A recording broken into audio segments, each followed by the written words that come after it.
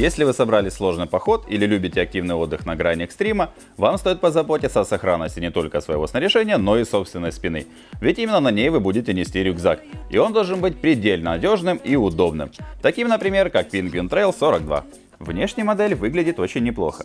Помимо привлекательного дизайна, она имеет изящную, сужающуюся к низу форму. Понятно, что это сделано не столько ради эстетики, сколько ради того, чтобы приподнять центр тяжести рюкзака, а заодно и повысить маневренность несущего его туриста. Этому также способствует очень интересная система подвески AVBS.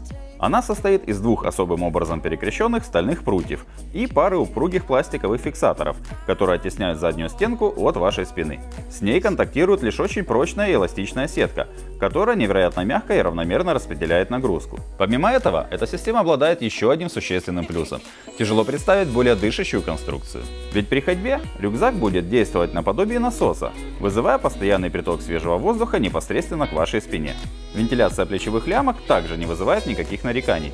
По сути, это перфорированный пенополиуретан, обтянутый крупной сеткой. Прочность конструкции обеспечивает вшитый в ее края паракорд. Помимо этого, лямки оснащены всем необходимым – грудной стяжкой, петлями для трубки гидратора и противооткидами. В нижней части спинки находится довольно жесткий и тем не менее очень удобный поясной ремень.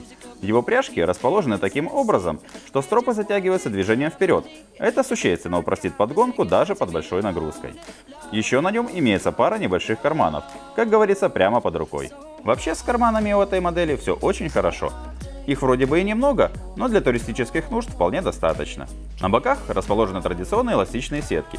Примечательно, что нижние утягивающие стропы проходят прямо через них. С виду это может показаться не совсем удобным, но на практике абсолютно не мешает. Спереди находится большой отсек на молнии. Несмотря на относительно небольшой вход, он занимает почти всю переднюю стенку. В верхнем клапане есть еще пара карманов на всю его ширину. А вот сам он крепится не совсем привычно. Мало того, что он откидывается вперед, так еще и застегивается на молнию, а не на фастексы.